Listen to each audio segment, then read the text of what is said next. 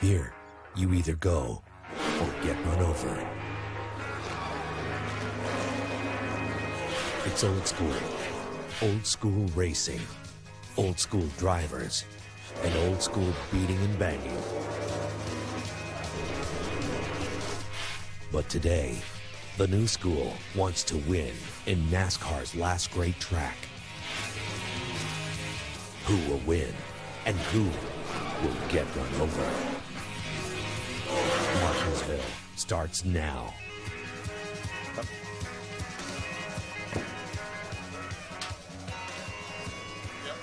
You go from the high banks of Daytona to the short track of Martinsville Speedway. After a rainy start to the day, we're about to get underway with race number two of the 2012 season. It's the Kroger 250 from Martinsville Speedway. Talked about rain this morning. Well, that has moved out of the way. It's overcast, 75 degrees and a light breeze. Perfect weather for racing and short track racing here in Southern Virginia.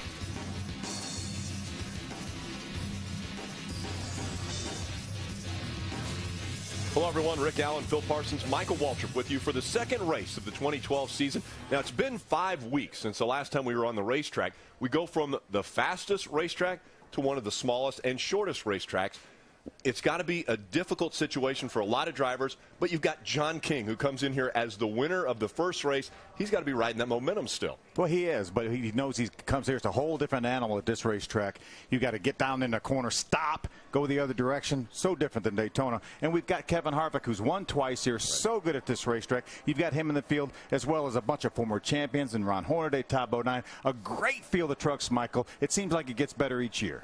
At Daytona, he who is first would be last and vice versa. Right. They come and go. Here at Martinsville, track position is everything. Kevin Harvick starting on the front row, he's going to be hard to beat. Ty Dillon had a fast truck too right beside him, so we're going to have to play some pit strategy, Phil. Maybe only pit once, but if we're going to pit twice, we want to maybe pit a little bit before everyone else.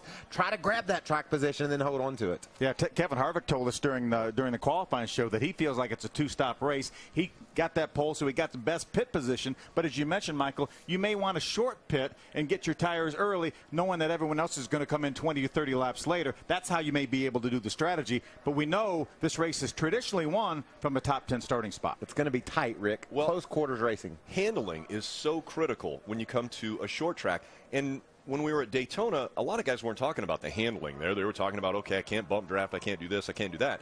Here, now the communication between crew chief and driver is so critical. Yeah, and we're talking we're we're just going to adjust our truck by a by a half pound of air here or there, maybe one round of wedge. You come to pit road, and those are the things that the crew chiefs are going to be looking at. How do I make my adjustment as fast as I can because track position again so critical? How do I make that adjustment that my driver needs and not lose any spots on pit road? It's a thinking man's race today, especially up on top of that pit box. You can make some decisions there that could literally propel you to victory. A lot of big decisions taking place on pit road. We've got two of the best on pit road, and Hermie Sadler and Ray Dunlap, Ray. Well, thank you, Rick. You know, when this is a very small racetrack, as you guys talked about, the Sprint Cup cars, they're in the middle of the track. But when the Camping World trucks come in, they actually park right here on pit road. This is their garage area, and we pick our pits before the race ever begins and before qualifying. All except for pit stall number one. NASCAR made a decision a couple of years back that there should be some value to winning the pole. And Kevin Harvick on the pole for the third time in his career. And guess what? Truck number two will be right here in pit stall number one, and that could play big dividends this afternoon. Hermie? Well, Ray, anytime the black number three comes to the racetrack, we all have high expectations of this truck, especially considering this truck won the championship last year with Austin Dillon behind the wheel. So when the three truck of Ty Dillon yesterday was right around the 20th place position in practice all day, we wondered what's wrong with the black number three. Well, today they proved nothing. A debrief session with crew chief and teammates and a few changes to this truck, and Ty Dillon knocked down the number two starting spot. So he's got the track position he needs to try to take this truck to victory lane. Rick? Thanks, Hermie. A year ago, it was his brother, Austin Dillon, who won the championship. And a year ago, to start off the season, it was Michael Waltrip who went to victory lane after Daytona. So, who better to sit down with the Daytona winner from this year in the Truck Series than Michael Waltrip? He sat down with John King, and we'll listen in. My favorite thing that happens is when the phone rings and someone says, now, who was that that won that race again? Everybody wants to know who John King is. Where'd you come from? I came from uh, Northeast Tennessee, Southwest Virginia, off of uh, dirt late models and late model stocks on asphalt. Did you know that circumstances could lead you to be near the front at the end? I mean, anything can happen, especially at Daytona. Hell, I won uh, last year. Tell you anything. It was definitely in the thought process. Never in a million years would I have thought that I would have won. So, overtime in NASCAR, green, white checkers, at Daytona, it's almost a guarantee. What was your thought process at that point? You had a good starting spot. I, I was on the inside, right directly behind Jason White, and uh, my thought process was stay on this yellow line, you know, stay in his tire tracks. To me, it's one of the best positions to be in. If, if we can get a run on them, on the outside line and we come back around for the checkered flag, maybe I can get a run on him through, coming through the tri-oval and maybe win this race. Here we go again. Second attempt at a green-white checker. Coming to the white, a little bit of contact there with Johnny Sauter. I know that had to feel terrible as you watched him spin out of your way. Yes, sir. In my head, I thought, there's no way I'm going to push him through the tri-oval and through the corners only on the straightaways, on the front stretch, before and after the tri-oval, and on the back stretch. But so the challenge is you want to be as close as you can be to him. Yes, sir. For speed, but you don't want to hit him. Do you think you got to push from behind that maybe got you a little closer than you're comfortable with? I think so.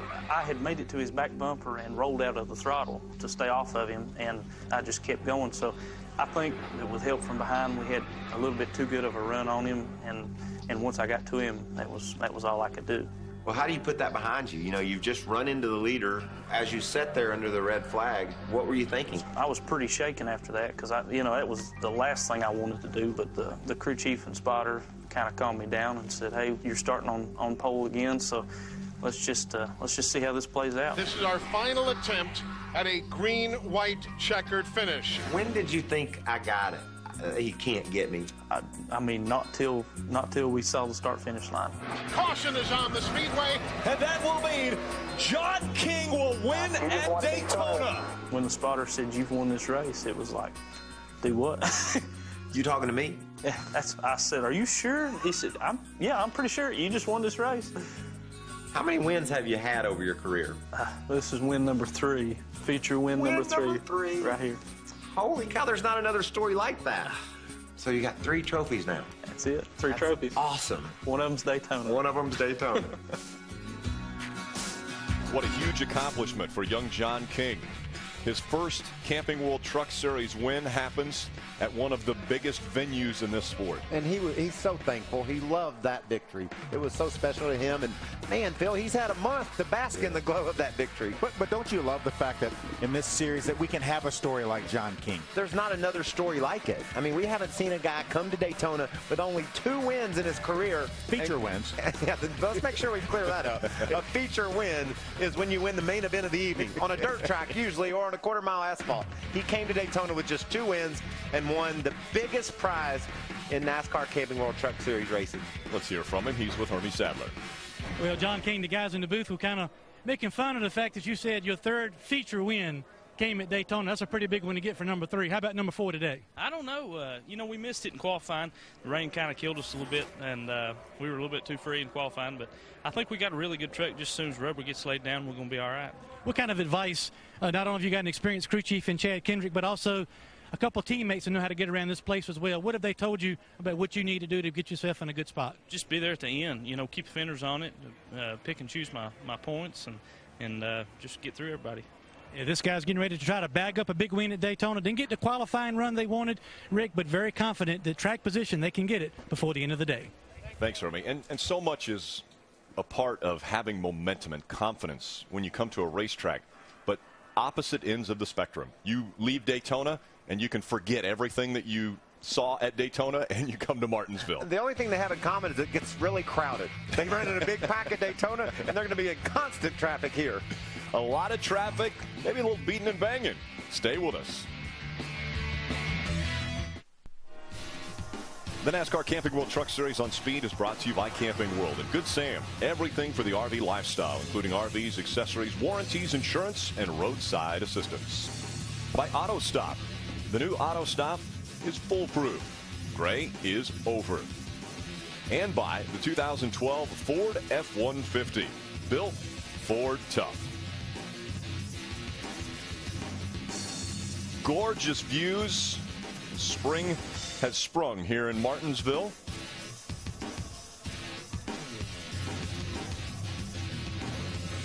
Half mile racetrack, short track racing. Crowd starting to fill into the stadium here. You know, at Daytona, we you know we have nice blimp shots. Here we can have somebody you know stand on on top of the garage here and get the whole racetrack in one in one shot. Yeah, great short track racing. And one of the other things that this affords us the opportunity to do is we had a camera crew and we listened in to Jeb Burton's first foray into the Camping World Truck Series. And we want you to follow along. Listen up. So help him out right now about what he's getting ready to go do. I'm going to the stand. Uh, take care of your truck, go fast. They gave you a radio with no button on it. So. Just be who you are. You got tons of freaking practice out here. All right? Rome won't build a day. All right? Be smart. P50s every lap. P3, P1's a 40. Still see you have the baby the throttle over here. Not, you know, it's not launching quite as hard as it should.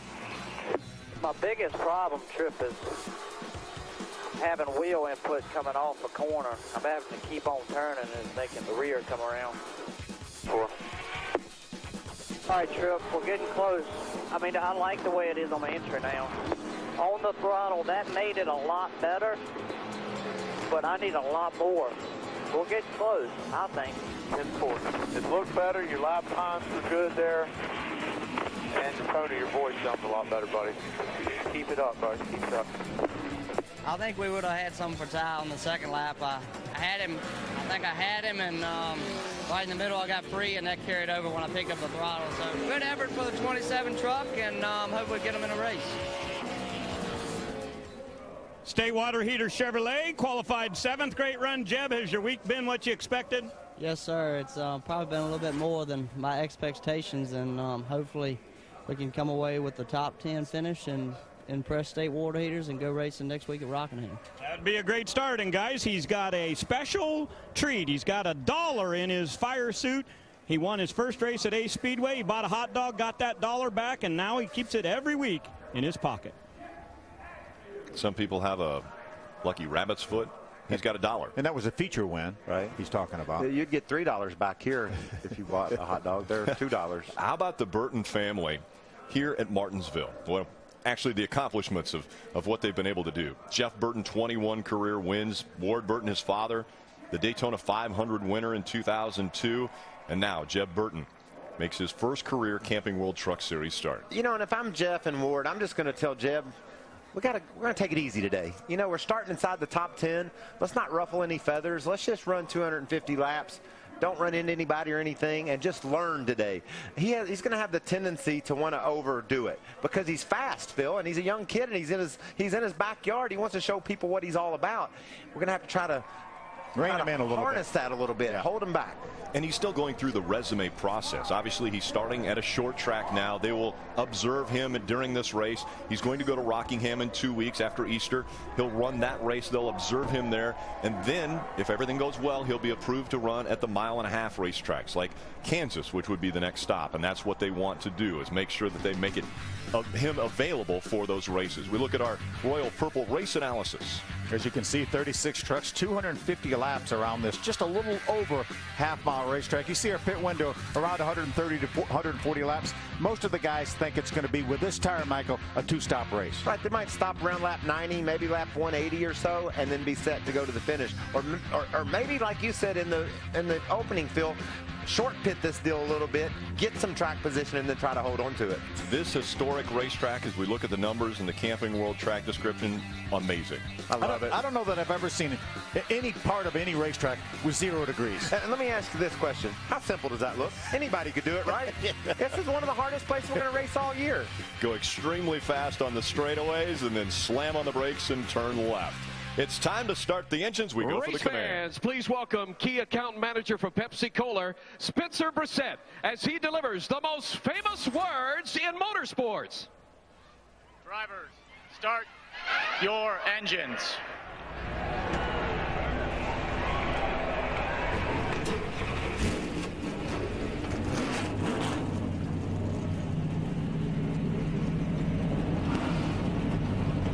36 trucks come to life. About ready to take on Martinsville Speedway for 250 laps. Sit back, relax, and enjoy. Welcome back. Kroger 250 about to get underway. Trucks are rolling off of pit road. The engines have been fired. Everyone pulling out onto the half mile paper clip. They will get their tires warmed up, brakes warmed up before the green flag flies. Take a look at how they will start this race. Kevin Harvick wins the pole, his third career pole. Ty Dillon will start on his outside, or inside in this case. He chooses the outside. Got a former winner back in row number two, Timothy Peters, along with Cale Gale. Justin Lofton continues to be strong. Into the year last year running well and picked that right back up again this year. That's good to see. There's Jeff Burton who's going to have to go to the rear and Johnny Sauter our winner in this race last year. Impressive qualifying effort for Jeff Agnew. He starts on the outside of row five. Matt Kraft done a lot of testing. He thinks he's got a fast truck. Jason Leffler just happy to be here. Didn't know he was coming. Todd Bodine has that look in his eye. We talked about it. We showed it during qualifying. He, he could be a threat. I love it. Todd's going to be the man today. Paulie Harraka will start on the outside of row number nine. Brennan Newberry getting a start. Strong during practice.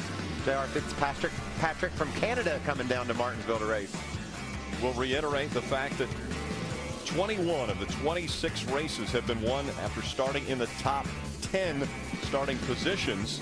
So that bodes a little bit more difficult for the drivers back here in the back of this field. Yeah, David Starr's won here before, though, Phil. Sure has. He knows how to get it done here. John Wes Townley returning to the Truck Series.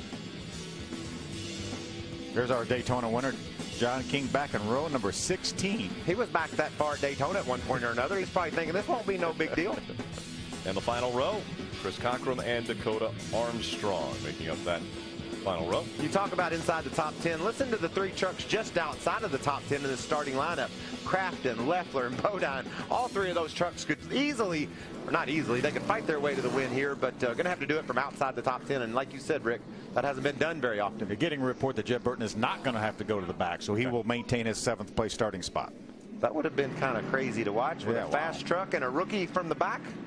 Would have been tough. We've got a few cameras that will ride along on the paper clip. Michael? Yeah, this is Joey Coulter starting 21st. Has had a good truck all day yesterday. Was disappointed in his qualifying run. Sponsored by Steakums. That sounds that sounds like Martinsville to me. How about we're going to ride along with Paulie Harraka in the MC10 Ford. Paulie will start from the 18th spot, just about to graduate from Duke University. This is the cat that almost won the championship last year. Johnny Sauter. is going to roll from the eighth starting spot in the Hot Honey Herb Records Toyota. You think this next guy knows his way around here? Four-time champion Ron Hornaday in the AM FM Energy Chevy. He will start from the fifth spot. And the 17 of Timothy Peters also carrying one of our cameras. He won at this racetrack back in 2009, very close to his hometown, so he considers Martinsville his home track. You might wonder, you know, the inside is the premier lane. That's where you want to be on this start. So you would say, why is Kevin Harvick on the outside? You can't run the outside here. What's going to happen when they get down to turn one? Ty Dillon will let off the gas. Kevin Harvick will grab the bottom. That'll put Ty Dillon on the bottom. He doesn't have to f- worry about fighting his way down there. So this is a little home cooking here for these two. Harvick's going to say, "Let me have the first turn, and you'll be in second, and you'll be happy." It helps when your teammates too. That's right. This is this is a great plan, and you're going to watch it co- play out when they get to turn Come one. to fruition. Unless Ty forgot.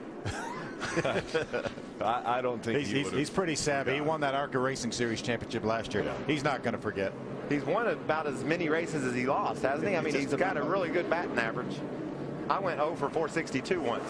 This is a racetrack where if you get hung out on the outside, you can get shuffled back 10 to 12 spots. We'll see what happens as we're about ready to start the second race of the 2012 season. Coming out of turn number four, Kevin Harvick leading the field to the green flag. It worked out just exactly like you said, Michael. Almost like it was planned. And now Cale Gale will try to slide just in front of Timothy Peters. So it's Kevin Harvick, Ty Dillon, Cale Gale, and Timothy Peters, your top four as they go through three and four. Yeah, these guys are going to be fighting for spots here on the bottom. They want to get down to the bottom. They don't want to get shuffled back, Rick, like you were talking about. And right now on the outside, Justin Lofton in the six is starting to get shuffled back. He'll try to find a spot right in front of that 13 of Johnny Sauter. He slips in line. And now Timothy Peters tries to make the pass on Cale Gale. Cale slipped up off turn two. It gave Peters a shot to the inside. He took it, and he's going to bring some of his buddies with him. Hornaday to the inside. Side by side for that fourth spot. Hornaday on the inside, Cale Gale on the outside. He gets shuffled back another position. I think he's going to catch a break. That's Justin Lofton, Cale Gale's teammate in the six truck, and he's going to let him in. We haven't talked a lot about the fact that there is a curb at this racetrack. It sticks up. You can get shot into the outside line if you try to cut the corner a little bit. And so far, we haven't seen that. We hope we don't see it this evening. Great side-by-side -side racing. James Buescher in the 31 truck gets by Jeb Burton. He's going to bring a friend with him, Matt Crafton in the 88, as Justin Lofton tries to get by Cale Gale. You are going to see it this evening, Rick. Someone will hit that curb and hit another truck. These guys battle each other hard here. See, Kevin Harvick looked like rolled over and let Ty Dillon grab the lead. Now, I'm not so sure Kevin thinks Ty needs to get a point for leading a lap for this championship battle, or if Kevin just said, it's a little early for me to be driving my truck so hard, so have at it, Ty. We'll know the answer to that in about a lap if the, the three pulls over and gets out of Harvick's way. And right now, the two of Kevin Harvick on the back bumper of that three. Here, a side-by-side -side battle continuing. On the inside, James Buescher. On the outside, Cale Gale. And look at that. He pulled over and let him go. Yeah, pulled over to the inside and let Harvick go. There's that one point for leading. Could loom large when we get towards the end of the year. The Cup guys tied in points last year. You know, after the season was over, Tony right. Stewart and Carl Edwards had the same amount of points.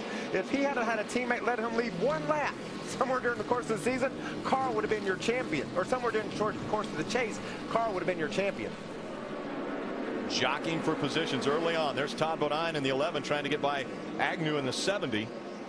He's going to be able to make that pass on the bottom of the racetrack. I tell you, I really like the way that 11 truck of Todd Bodine looked all throughout both practices yesterday, as well as the look in his eye. You saw, Michael. Oh, he looks a little bit loose off the turn there, but I'm with you, Phil. Todd was very energetic and very enthused about being in Martinsville and trying to put that streak of never winning on a small track behind him, but that thing's loose. You can see Agnew gets a run down on the bottom here. Slid through the middle of the corner there. That opened up the bottom for just a moment for Jeff Agnew. Slipping sideways again off. He's going to have to tidy you know, that up a little he bit. He might either need to tighten it up or, or sometimes as the air pressures come up on the trucks, the handling will change. But right now he's had his hands full. Fuel burning off as well as you, you burn some of that weight off of the the back of these trucks. And as the rubber builds up, they historically talk about this racetrack getting tighter, especially through the center of the corner and then the early exit. Yeah, this track doesn't have any rubber on it. It rained all night last night, and now we've got had just some trucks and cars qualifying, but this is the most rubber that's been down on it all day, even just this short of a time into the race. See the difference between one and two now. Kevin Harvick in that two truck just in front of Ty Dillon in the three, and that's the differential now after about three or four laps that have been run hard by Kevin Harvick. At the beginning of this race, we saw Harvick move over. Ty Dillon led a lap. Harvick goes right back to the front, and he continues to lead at Martinsville. Kevin Harvick beginning to lap the slower traffic. Now working his way by Jake Crum in the 07. Harvick with a very strong race truck. Not only yesterday in practice qualifying grabs the pole and now showing us just how strong that truck is early on in this race. Tight battle back here for the six spot. Johnny Sauter the 13 has six. There's James Buescher the 31 and Matt Crafton in the 88. Remember, oh, got a spin on the front. Around goes Ron Hornaday in the nine. Hi, hi, hi. That may have he may have had some help. Justin Lofton, the six truck, was right behind him. He had a lot of help on the end of the spin. I don't know if maybe he got sideways first, but definitely Lofton into the back of Hornaday. Hornaday was running in the fourth spot when he came out of turn number four, and around he goes. Don't see a great deal of damage. There's looked like Justin maybe had made the move to the inside, Michael. And yeah, they, they, they made contact right down there in the center of turn number four. You make the commitment to the low side you see he got sideways and actually had, had opened up the bottom of the racetrack, got a little bit sideways, took up some more room, and Justin was there. I knew what finished the spin. I wasn't sure what started it, Phil. so the four-time champion around at Martinsville. Harvick still out front.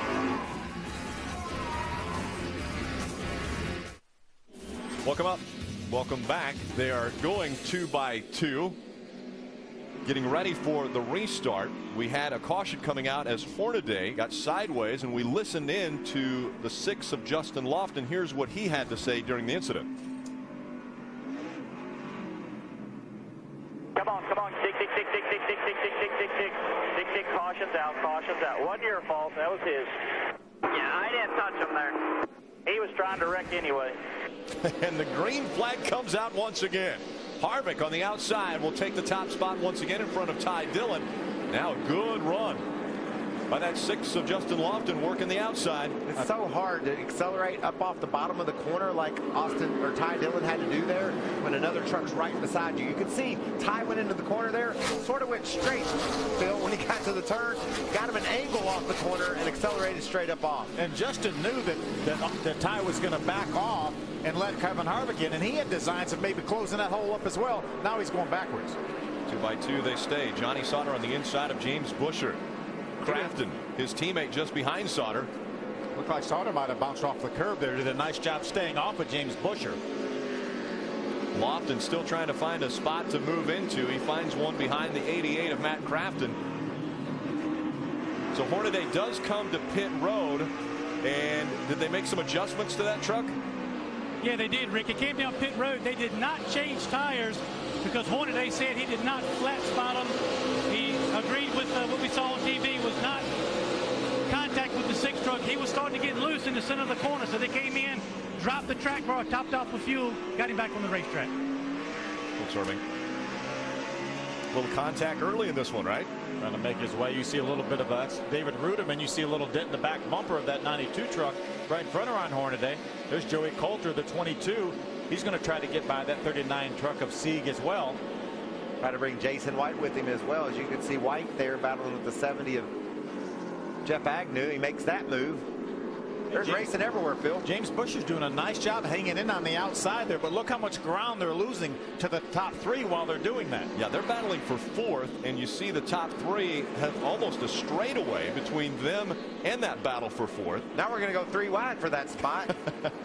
Can you go three wide at Martinsville? For a minute. Yeah or second. Till you get to the corner. Anyway. So Buescher wins that battle. He's out in front of Johnny Sauter now for the fourth spot. Sauter back into fifth. and his teammate Matt Crafton right behind him in sixth. I'd circle that move right there by Buescher. Staying on the outside, gaining that spot away from Johnny Sauter, keeping that fourth position. You remember what happened here last fall in the Cup race? Tony Stewart made a move on the high side to stay on the lead lap.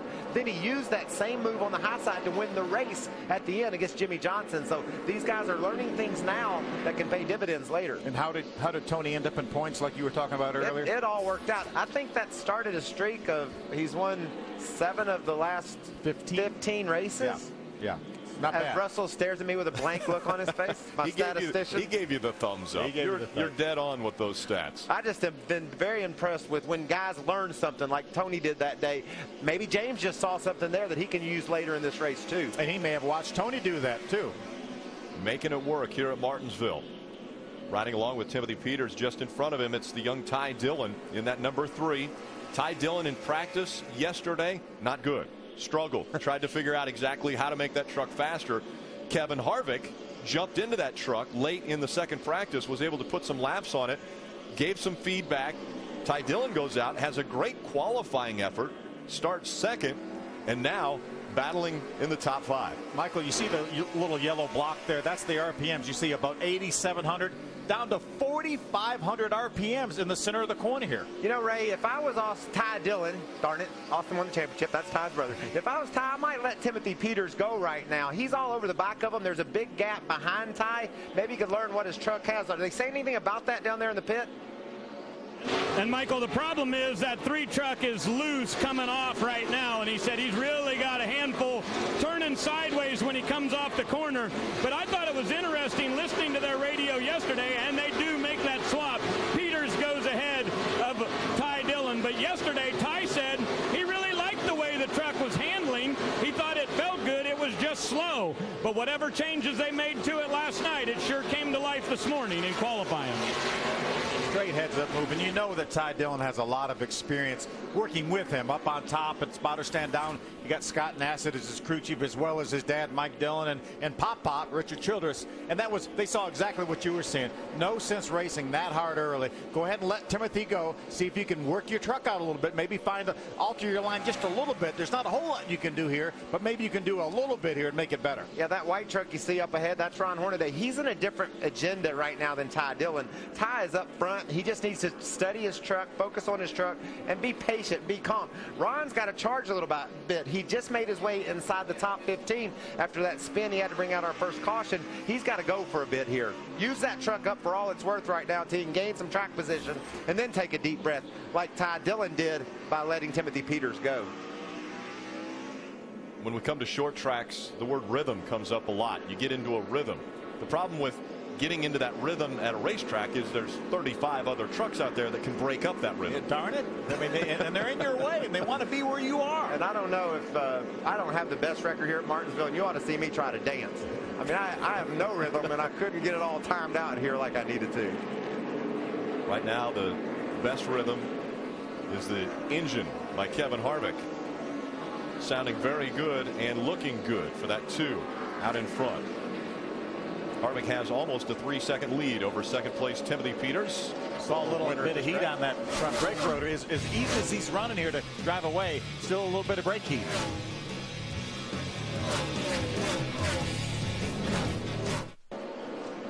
Today, round two of the Rolex Sports Car Series rides into Alabama. Find out if the Michael Shank boys can take two in a row. That's the Rolex Sports Cars Series. Birmingham, that's today, right after the truck race here on Speed. A great win on the 24 hours of Daytona, the Rolex 24 for what? Shank Racing. Actually, two cars on the podium. Michael McDowell, who will be racing tomorrow, was in one of those cars, and uh, A.J. Allmendinger was actually in the winning car. And what about that battle late in the race that A.J. Allmendinger had with Allan McNish? They were bumping yeah. doors up on the high banks at Daytona and racing for the win in a 24-hour race. 24-hour race, and I think first and second were separated by five seconds. What, four cars in the lead lap? Yeah, 24-hour race, and the, the top two are separated by five seconds. Very impressive, so you want to stay tuned for that.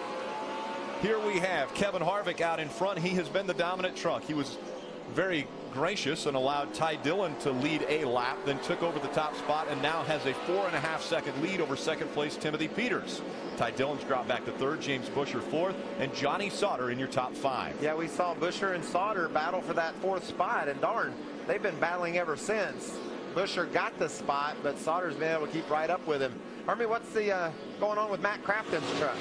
Well, Michael, right now he's running in the sixth position on the racetrack, but they're a little bit concerned about the engine under the hood of this Toyota. The tachometer inside of the truck, according to Matt Crafton, is going crazy, bouncing back between 5 and 9,000 RPM. Concerned about maybe a battery issue or another electrical issue. They just asked him to switch ignition boxes to see if that clean, clears it up. Right now he's running decent lap times, but a little bit of concern. Moment on the backstretch here, David Reutimann in the 92 truck. Not sure exactly what happened. There's Dusty Davis, the 15, Max Gresham in the 24, and there's John King in the 7. Looked like maybe there's the there's the White, moment right there. Yeah, Jason White moved David out of the way, spun him out, and then straightened him back up. So I guess David might have to think they're even because he spun him out and then he fixed it for him. I'm, I'm willing to bet David doesn't think they're even. You know, you don't think that's where he's at right now? I don't think even is what he's thinking right now. Maybe get even. He's thinking something, but. Yeah.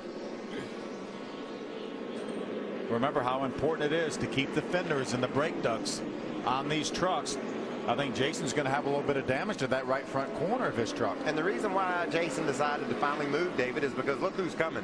Kevin Harvick had caught the back of those guys. Jason Spotter obviously told him, felt like David was holding him up a little bit and gave him a shot in the rear end, and that's uh, that caused David almost to have a wreck.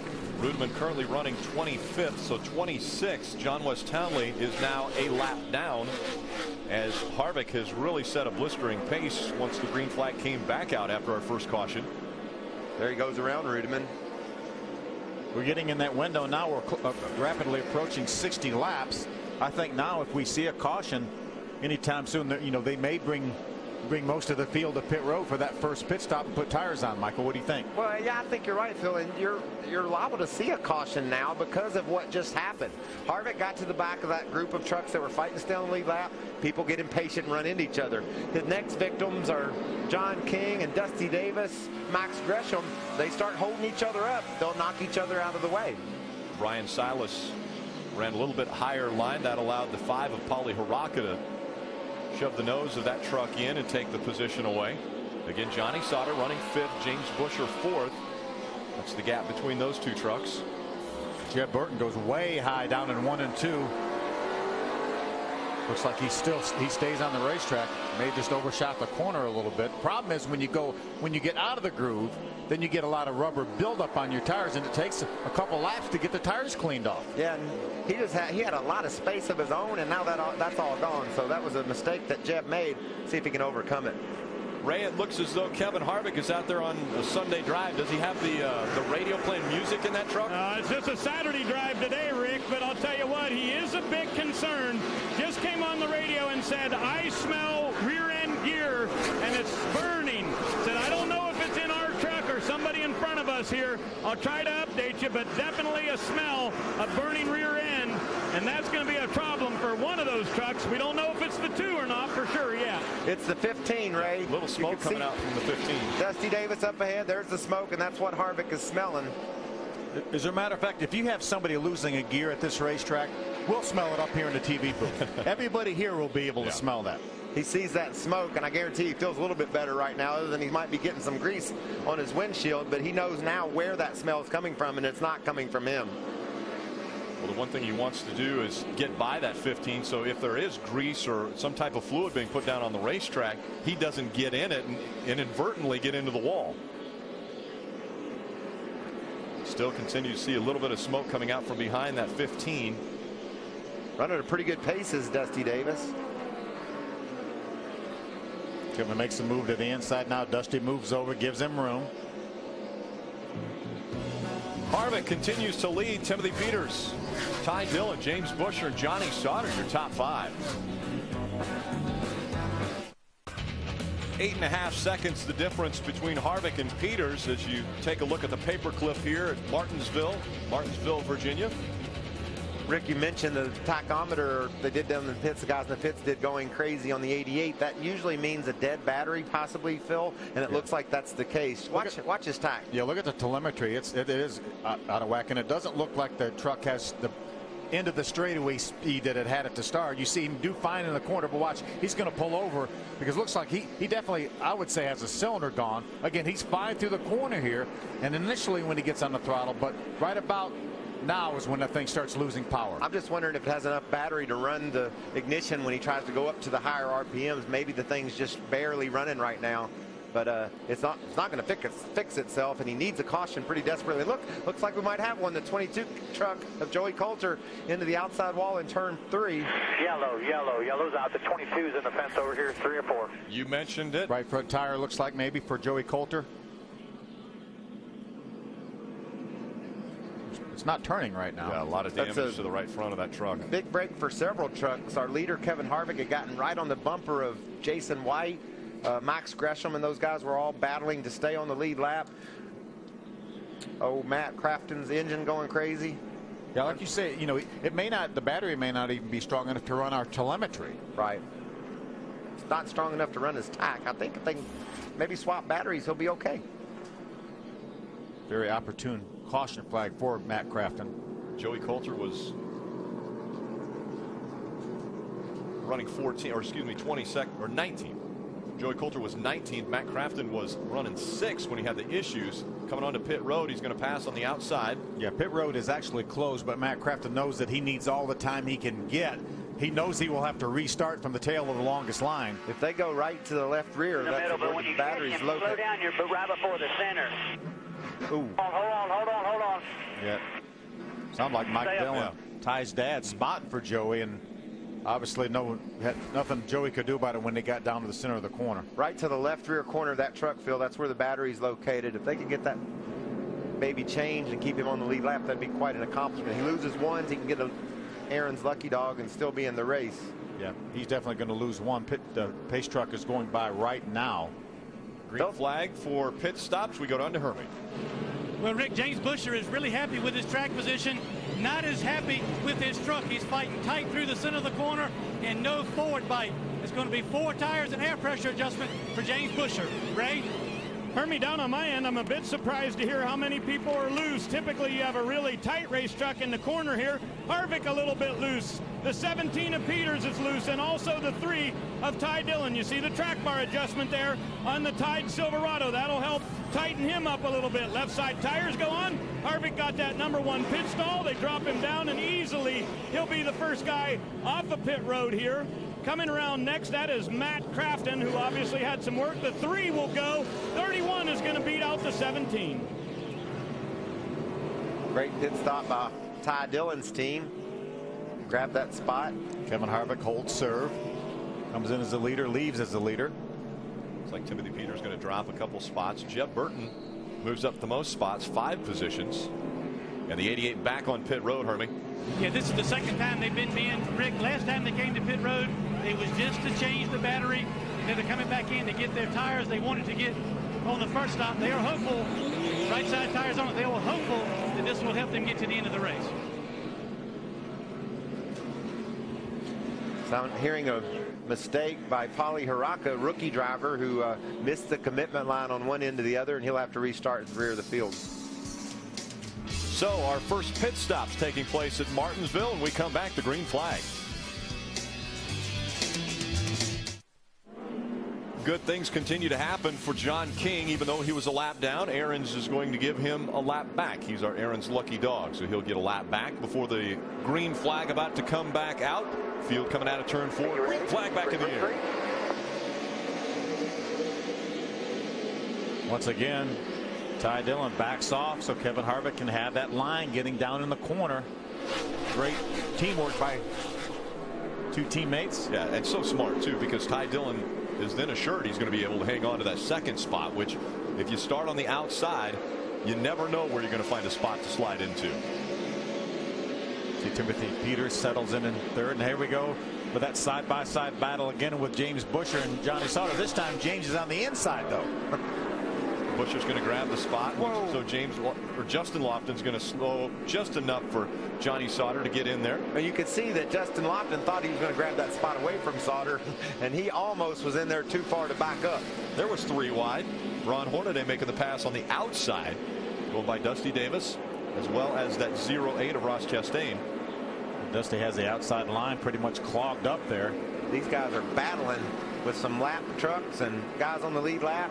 There's John King, got a lap back courtesy of Aaron's, and Jason White, who's been battling to stay on the lead lap. Leader's been up to his tailgate a couple of times. He's been able to stay on the lead lap, though. Matt Crafton only lost one lap with that battery change, so he now just needs to stay in line here, work his way towards the front of the lap down trucks to be in position for that next Aaron's lucky dog.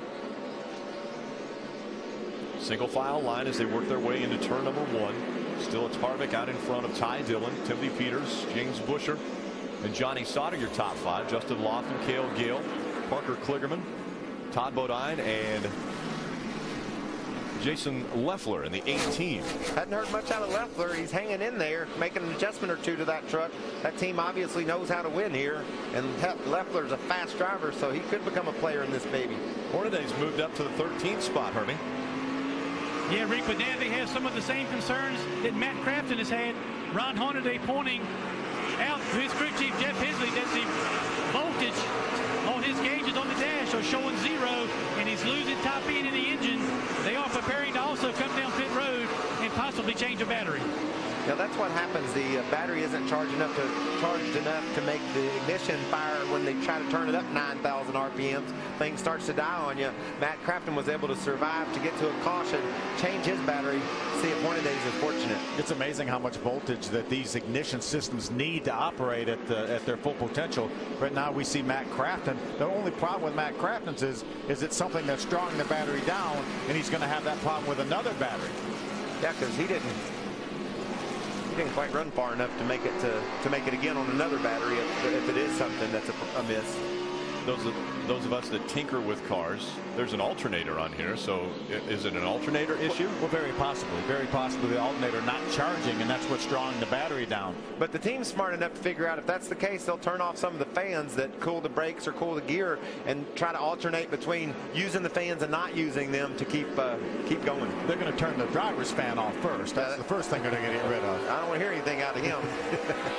the 22 Joey Coulter had a right front tire go down, got into the wall. That brought out our second caution. How's that team doing now, Ray?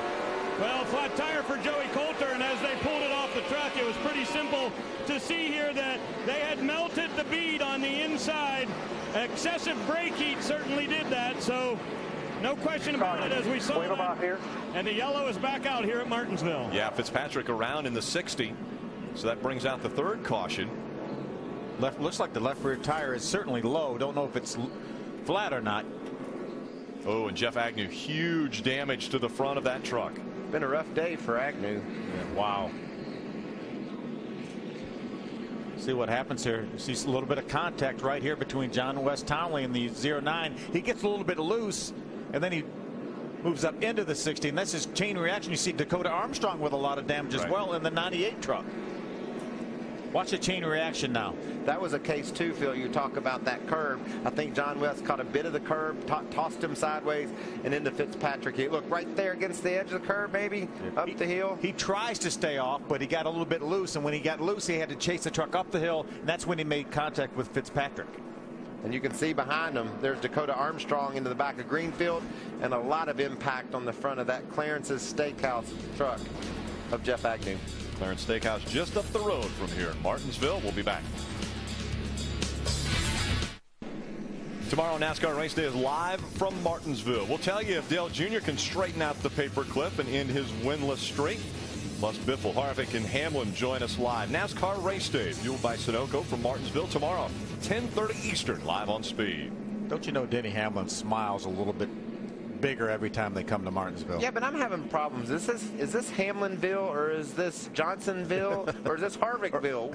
Where, where, where are we at? Well, Harvick, Hermyville, isn't Yeah. it? You think it's Hermyville? Yeah, Hermie, isn't this your your joint? Now, I'm a long way from Hermyville, but I tell you what, this nine truck, they came in and changed the battery for Ron Hornaday. Crew Chief Jeff Hensley is telling the crew to get another battery charged and ready because they're not sure this will be the last time they'll have to change a battery. Also, another battery issue, believe it or not, for the five truck of Paulie Harraka. He is starting to lose voltage, and they've asked him to cut all his brake fans and hoses off as well. So, a lot of issues with batteries today. Got to figure out what the cause of it is. Could ruin good finishes for some of these teams. You have to figure those are alternator issues. Yeah, you would think. And maybe it's just too much, too many fans cooling the the, the, the brakes and the tires and the driver on this hot day, and um, it's it's burning up the alternators. It's the only thing I can figure. Yes. Batteries aren't going to go bad. Yeah, they have believe. several brake fans as well as bead blower fan. You, we talked about uh, about Joey Coulter melting the bead. They actually have fans that will blow air on the bead on the beads of the tires, and unfortunately, that wasn't enough for Joey Coulter in this situation. And there's a lot of crew chiefs for the Cup race tomorrow that are thinking, is this just an isolated issue, or do we need to look at how we're cooling our brakes and, and uh, beads on our tires? A lot of folks watch these races closely that race tomorrow, see if there's any tire issues, what the issues indeed are. And a lot of the crew chiefs, Cup crew chiefs that will be working tomorrow, will be walking up and down pit road looking for those very things. You use the word issues. One driver who has had them. We look at our Ram guts and glory and Ron Hornaday. Issues early for him, bringing out our first caution as he went around coming out of turn four. Able to get back going, made a lot of nice moves to get back up into the top 15. Here he is racing with David Reutimann on the back bumper of Miguel Paludo right there. But now he has an issue. He's a lap down, Michael. And Rick? You definitely have to have guts and glory when you race at Martinsville. And Hornaday wanting to battle back, potentially get back on that lead lap, but he'll have to work for it. Harvick and Dillon bringing the field back to the green flag. It's back in the air. We're back underway.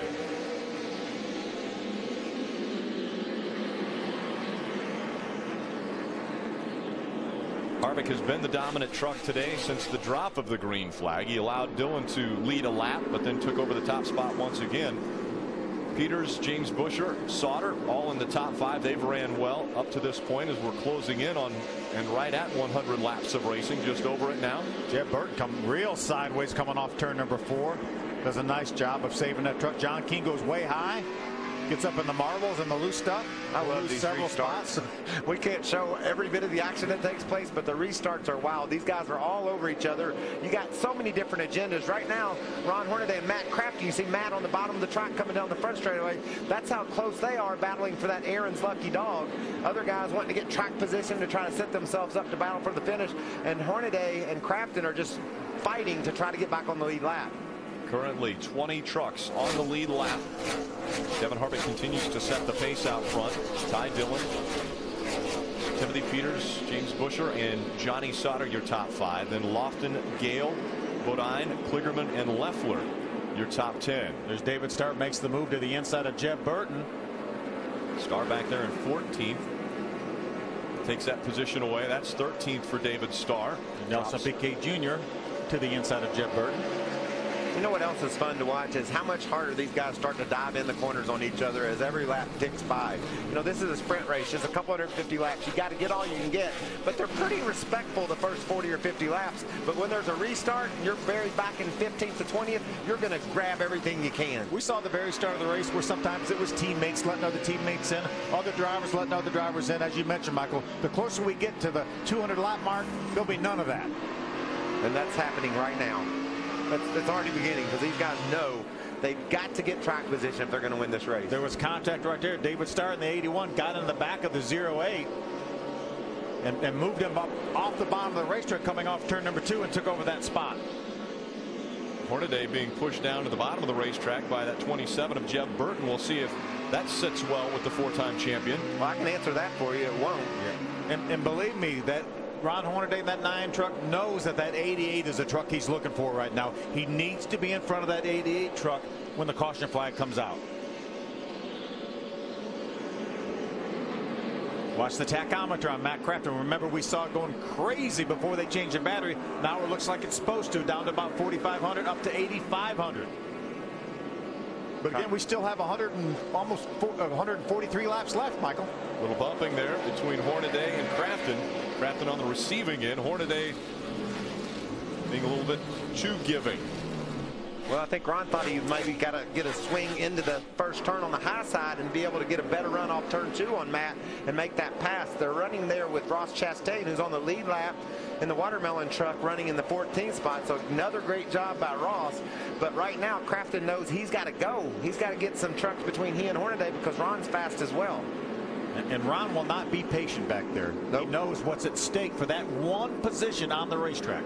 And Ron Hornaday knows how to win at this racetrack. He knows you need to be up on the wheel and get up front as quickly as you can because there's guys like Kevin Harvick that he's going to have to spend a lot of time working against if he wants to take that spot away. And speaking of taking spots away, Buescher was able to jump up in front of Dillon. Now the move back. Dillon's able to hold on to that spot. Peters holding on to third. Buescher, and now we see Dusty Davis in the 15 stopped on the track. That'll bring out the caution once again. And guess what? Matt Crafton will get the Aaron's lucky dog now. That battle for position on the racetrack is going to give Matt Crafton one full half mile. And also, it's going to give him time. He's going to have more time now to work his way through those trucks. You saw how hard it was to pass. Matt's probably got a top five truck, but he couldn't get around Ross Chastain back in 14th. He needs that time to be able to work his way through the field. So the fourth caution comes out. Looks as though Matt Crafton is going to get the Aaron's lucky dog. He will be the benefactor this time. And he gets a free pit stop. He knows he's going to have to restart this race from the back of the pack. He knows he can come down pit road. He maybe not want to put his tires on right now, but he want, may want to make some fine adjustments, try to make that truck a little bit better. He just got tires on the last stop, so I'm with you, Phil. Let's just maybe put a little track bar to it or uh, maybe some wedge. Give Matt uh, a cold drink. Tell him you're starting in the back anyway. It's time to go through these guys. And right now, with 139 laps to go, he probably would get very close to in the window of having enough fuel to run the rest of this race. 27 of Jeb Burton, a little bit vocal on the radio. He's had a little bit of an issue with the 81 of David Starr. Let's listen in.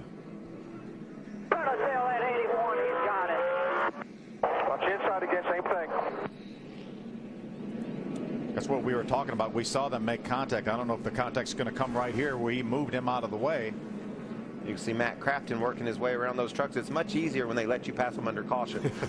He's going to run around the whole field and come back on the back uh, tail end of the lead lap. He's going to pass him on the outside, too. The Aaron's lucky dog and be ready to, to put that battery issue behind them. I'm wondering if that team doesn't think it might be wise to put a, see if under caution they could put a battery you know, they uh, they lost a lap when they did it before, so they can't really risk losing another one. But they got to be better prepared in case something goes wrong later. One of the unique aspects of this racetrack, train tracks run right off the backstretch.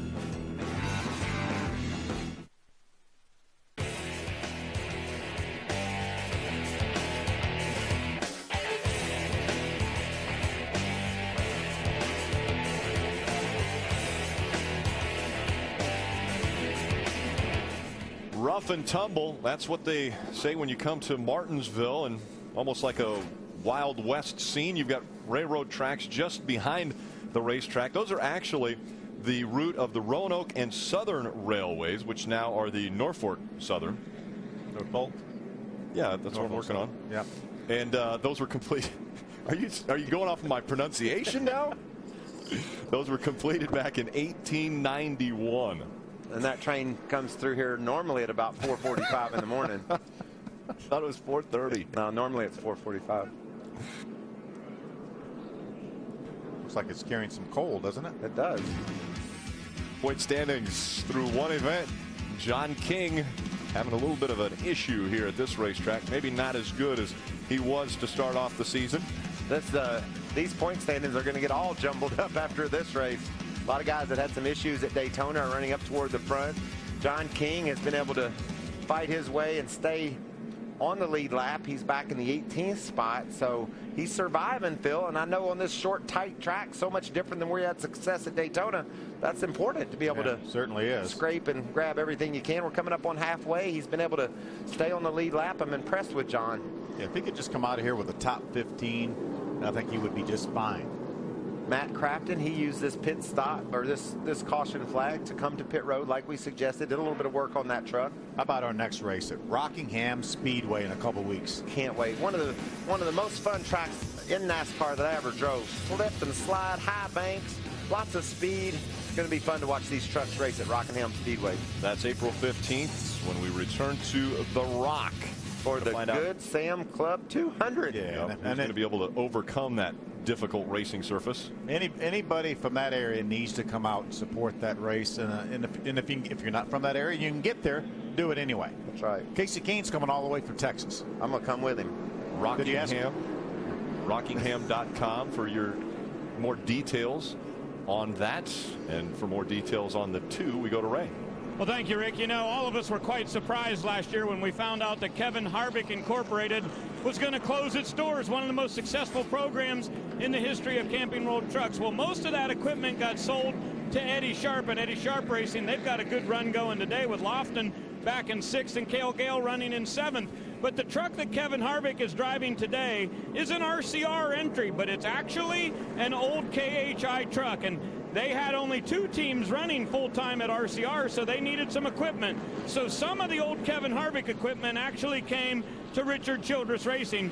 And this is chassis number 58, one of the last trucks that they built last year. And Ron Hornaday ran this on most of the flat tracks last year with a great deal of success. And Kevin said it is absolutely perfect today. Don't make any more adjustments the rest of the day. We'll put on one more set of tires, but leave it just like it is. The reason why we're continuing under caution, they had to tow the 15 off of the track just moments ago. So as soon as they got that truck behind the wall, now they're letting them know that next time by we'll go back to racing. You know, the thing I loved about Kevin Harvick and his team, when, it, when they announced that they were going out of business, they kept building new trucks. I mean, they would come with new trucks because that's how desperately they wanted to be competitive, and they won the Owners' Championship last year with that two truck. American ethanol. Ford called ethanol the fuel from vegetation and the fuel of the future because it was non-toxic and made from waste surplus. Forward thinker that Ford was. HF1. Yes. And Tom T. Hall saying old dogs and children and watermelon wine is my watermelon factoid. I appreciate that fact. I also appreciate the fact green flag back in the air. Kevin Harvick in front of Ty Dillon once they cross the stripe. James Buescher going to try to run that outside now. He would love to get a little bit of a little bit of grip there and get in front of Ty Dillon.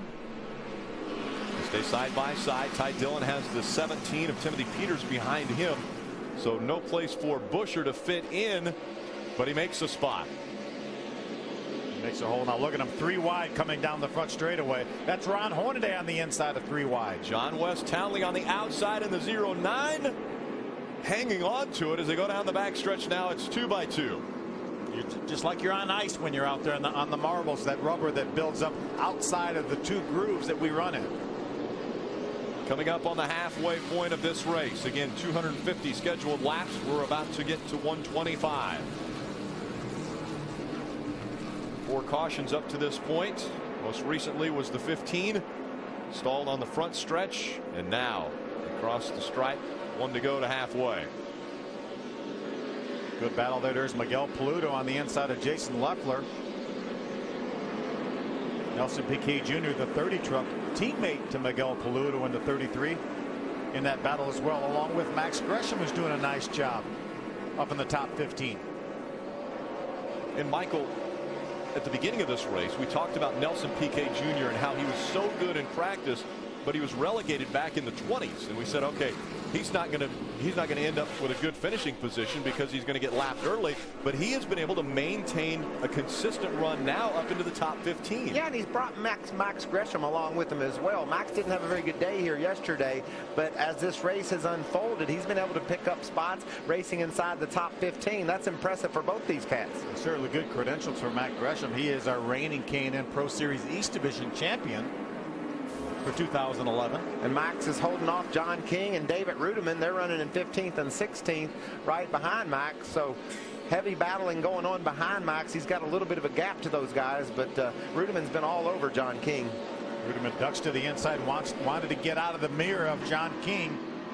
Here's Ron Hornaday moves to the inside of Jeb Burton. Ron Hornaday now up to the 22nd spot. Remember, he's the first truck one lap down, so he's right now hoping for a caution flag right now. Jeb Burton just behind him. And then that give him the other half of the race, Phil, to try to drive up through these guys and get a top five finish. I think maybe at this point it would be pretty safe to say Ron can't win this race. You can't come from a lap back and beat Kevin Harvick, can you? Remember when Wait we talked about uh, that's Kevin Harvick now. uh, remember last year we talked about Kevin Harvick. He went two laps down, so no way could he finish in the top 10. He gets both laps back and finishes fourth. Well, that, that that's unusual. That is unusual. Uh, that was Kevin Harvick. That was Kevin Harvick. He's yes. special. He's amazing here. The Hot Honeys number 13. Currently running in the sixth spot just behind him. Todd Bodine running seven. Look at that speed. These trucks are so fast on this little half miler. They go flying down the front straightaway and have to make that tight left-hand turn. Man, I love this place. Hard on the brakes. We heard a couple drivers talking about having to turn their fans off. That's exactly what you don't want to do to try to keep the bead cool like we talked about with Joey Coulter melting the bead on his right front tire. You know, it's you get a little bit of a gap like Johnny Sauter right now has a little bit of gap to Justin Lofton in front of him. You can back off the throttle a little bit easier not use quite as much brake. But if you do that too often, then the guy behind you is going to stick his nose. In this case, Todd Bodine, he's going to stick his nose out, knowing you're backing off a couple car lengths earlier, truck lengths earlier, and dive to the inside. And you're just looking for a little bit of a break. You know, you just don't want to use your brakes so hard. You want to try to take care of your tires. Next thing you know, the guy behind you, he doesn't have that same agenda, and he's all over your tailgate. Kevin Harvick with a about eight tenth of a second lead over Ty Dillon. They're running some fast laps. Right now, that last lap Kevin Harvick ran was a 20.57. That's only four tenths of a second off his fastest lap of the race. And we're 133 laps into this race, and they have 60 laps on the tires.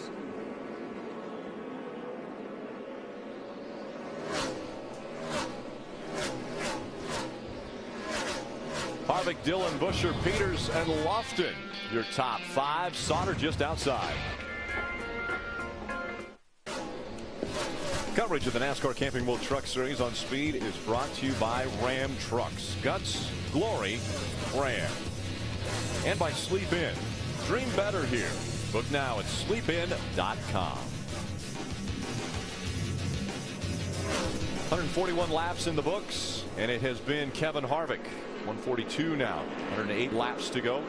Ty Dillon running in the second spot has had a very impressive first showing here in the trucks at Martinsville. Wow.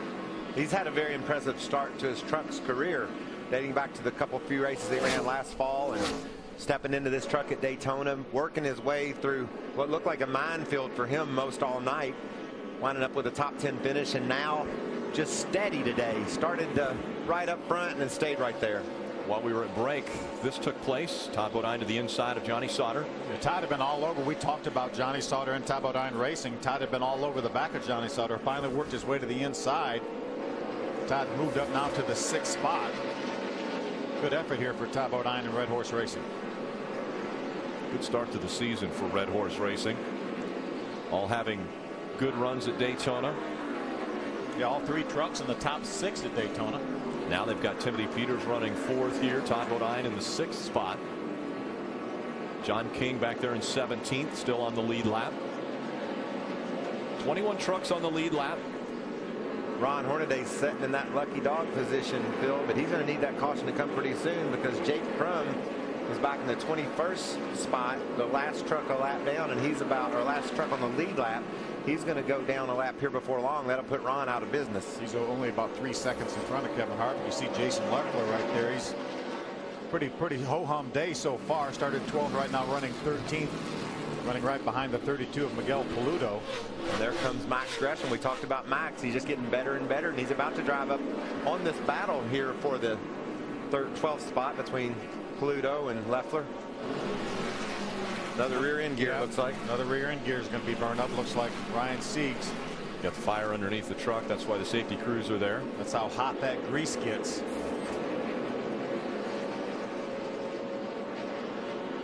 Right there by the exhaust as well. So a lot of heat generated on the right side of those trucks. They're going to have to stay right there because that, that'll flare up again. That grease as it leaks out. You burn a gear up and, and the parts start galling together and then, it, and then it breaks something in the case and that grease will pour out. Miguel Paludo just in front of Jason Leffler. Max Gresham behind them.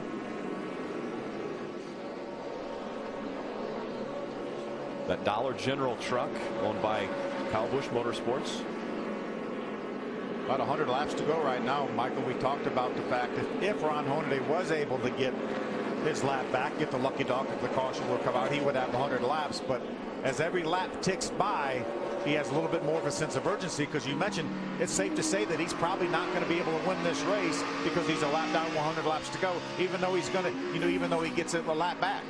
Ron Hornaday was running fourth when he turned coming out of turn number four and so that relegated him back. He came onto pit road. They made a stop put him back in the back in the 20s then he lost that battery lost wound up losing a lap and it's been it's been quite a the day that started off with a, with a real good look to it for Ron has been downhill ever since. A little bit of promise early on in qualifying after qualifying fifth. Yeah, tough day for the 39 as well.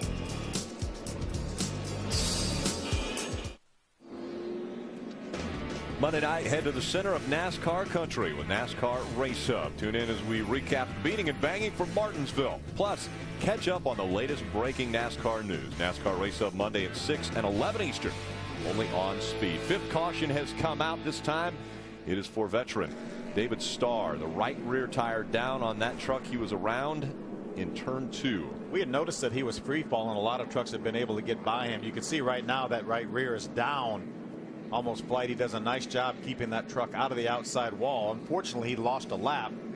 And uh, that's his unfortunate, and it's good fortune for Ron Hornaday. We talked about him needing to get that caution pretty soon because Jake Crum was about to lose a lap, and that would have put Ron out of the lucky dog spot. He got that caution. He can come to pit road, work on his truck, and be back on the lead lap. Aaron's giving uh, Ron Hornaday that lucky dog. We'll have to start from the tail end, though, because of getting the lucky dog, but that's a whole lot better than being a lap down. Here comes race leader Kevin Harvick. It looks as though tire management's coming into play as we have 91 laps to go, and the trucks are making their way onto pit road, Hermie.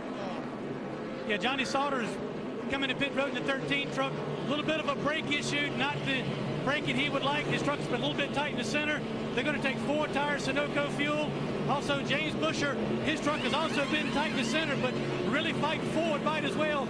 They'll also take four tires, one pound out of the right rear. Ray, Hermie, at the top of your screen, you see that Bass Pro Shop Chevrolet. Ty Dillon said it's perfect. Leave it just like it is.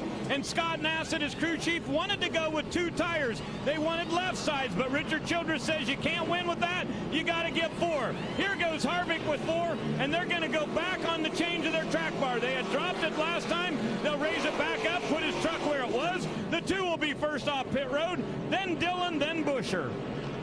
Good news for Kevin Harvick. His teammate comes off pit road, so they will have the same plan when they get ready to restart this race. It's it's great news for Ty Dillon because he's going to get that second spot without having to fight for it with James Buescher. Todd Bodine makes it up into the top five. Tired, an issue there. Hot, hot, hot. Daytona.com. Green flag just came out. The truck's rocketing down the backstretch here at Martinsville, and it was the same as the other five starts we have seen today. Ty Dillon on the inside, Harvick on the outside. Dillon allowing Harvick to take the spot up in front. And falling right in behind that three of Austin Dillon. Normally James Buescher. This time it's Justin Lofton that's got that spot. Great strong run by Justin Lofton all day long. Just solid after after that third place run at Daytona a few weeks ago. And the way he ended 2011, I just loved what I saw from Lofton and that team, and it's continuing today. He's fast. Riding along there with Johnny Sauter momentarily as we see that 0-8 of Ross Chastain trying to run the outside line. Phil Gill on the inside. Thinking two tires with Ross Chastain probably to get him up in the top 10. Yeah, and that kid's a competitor though, Phil. You give him a little bit of track position, he knows how to drive the heck out of that watermelon truck. Slides in behind Cale Gale. Cale Gale's another one of those trucks. That Rheem Chevrolet with a solid run.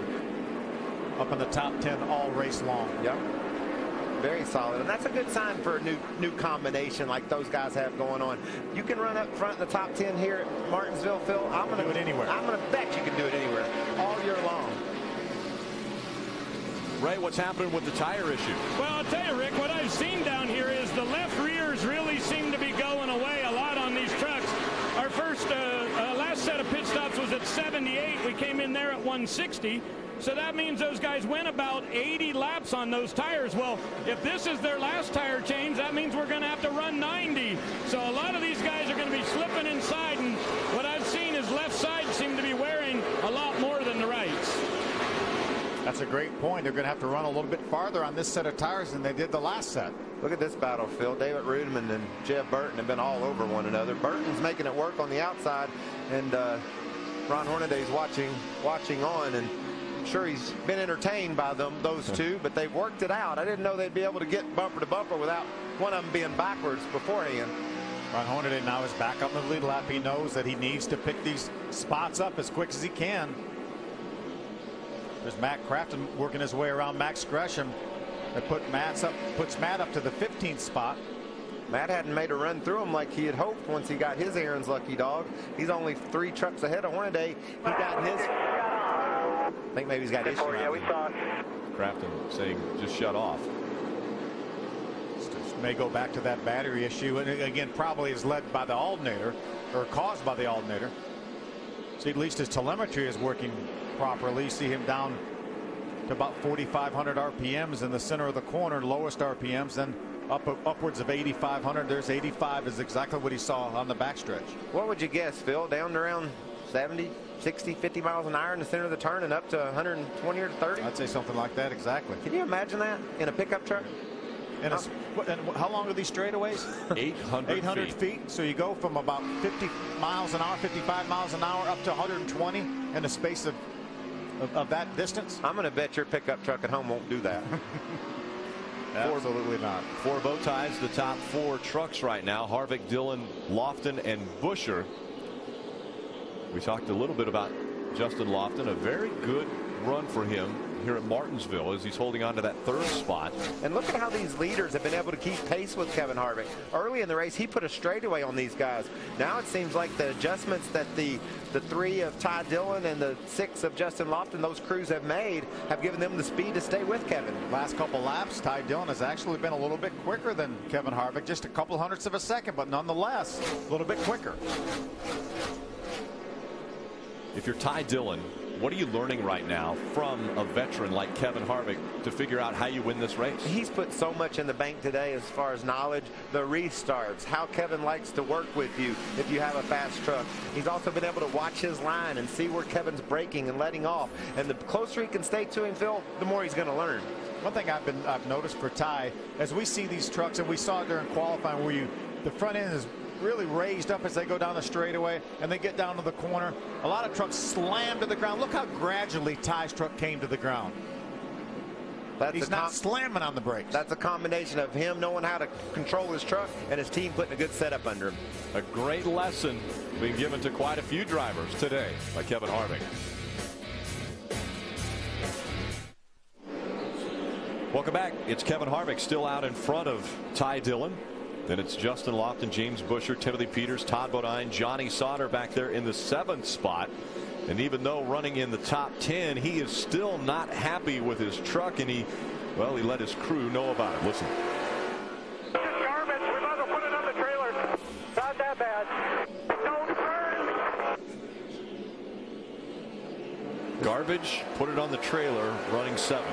A little bit of contact right there. He lets Todd know that he's behind him. Now he's going to move the inside, thinking that Todd may let him have that spot. We heard from Johnny just a moment ago that uh, that he, he had warned Todd all he's going to warn him. This is a slippery slope right here now. Johnny got in the back of Todd a couple times. Johnny is out of there though. He's faster than Todd. One turn's all you need. By one and a half. All you need is one good turn to get away from a guy that you rough up, and he's going to forget it after after that.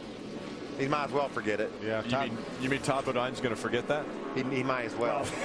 At least for the time being. At least for the time being. Okay. I know you drivers. You don't forget anything. Right now, Todd will be a little bit have a little bit of concern for Cale Gale behind him. Remember, we saw before the caution flag, Todd get by Johnny Sauter. Obviously, Joe Shear and his guys made a, made some adjustments, made that 13 truck a little bit better. Parker Kligerman just in front of Jason Leffler. Kligerman running 11th, Leffler 12th. Ross Chastain has been able to jump up into the top 10 or stay in the top 10 after some pit strategy. Yeah, he's been running strongly just ahead of these two. And another driver that's also has broken into the top 10, Nelson Piquet Jr. We talked about him and how he would have to work his way up. And he has done exactly that. All over the back of the 33 of Cale Gale.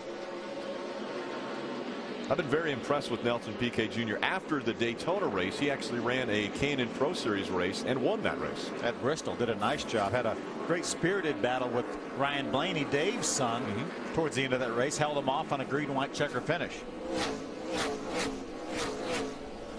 We'll have a lot of K&N Pro Series action on speed throughout the course of the year, both east and west. Mm-hmm. See Parker Kligerman moving to the inside of the 99 of Bryan Silas. Travis Pastrana has joined that race for the championship in the East Series field. Seeing what he can do over here in the stock car world. So I think it's cool for NASCAR to have Travis on board. What did Travis think about Bristol? Um, he didn't think that uh, he would get dizzy, and he found out really fast that he did. He jumps over stuff and goes through stuff. I, he said, "How tough can it be?" He called me afterwards. He said, "I don't know how y'all do that," but he's learning. He's having fun and part of the NASCAR landscape. I love all the the energy we have around the sport, whether it's from um, Natalie Sather, who was here this Right. weekend, all the diversity drivers that are joining us. Got a lot of good things going on. A lot of good things going on for Kevin Harvick. They continue here at Martinsville.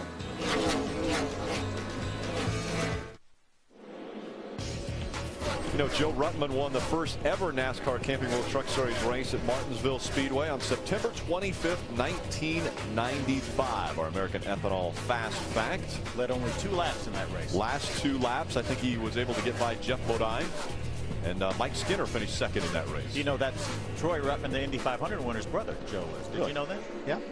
We're always wanting to give important facts out there. Michael, have you got another important fact? Yeah, Tracy Byrd sang the watermelon crawl. There you go. Another important watermelon fact. We're going ethanol and watermelon. You don't think you could make ethanol with watermelon? That's corn, right? Well, 92% of watermelon is water. That's not going to work. No. Johnny Sauter moves up into the top five. All over the back of this college complete Chevrolet of Justin Lofton. Justin had such a strong run this entire race. I bet that team's glad they didn't just put it on the trailer. He's racing for a top five finish now. That's how you win a championship. You take a truck that you don't think is worthy of, of even being in the race and running in the top five with it. That's a pretty major accomplishment. You know, that audio we had, Michael, was before this last round of pit stops. I think Joe Joe Shear tuned him up a little bit. What do you think? Yeah, that's some good pit work. And, you know, you only get a couple of stabs at it, Phil. You come to pit road. Like I said, you want to do something you can do quickly, too. You have to do it almost with air pressure, maybe a turn on the track bar, but that's it. You can't be pulling rubbers and putting rubbers in the right rear springs to change their rate because it just takes too long. Looks, takes too much time on pit road, lose too many spots. Let's take a closer look at our top 10. We'll go through the field. We start with Ray. Well, we'll start out with Kevin Harvick. He's got two wins here at Martinsville, and both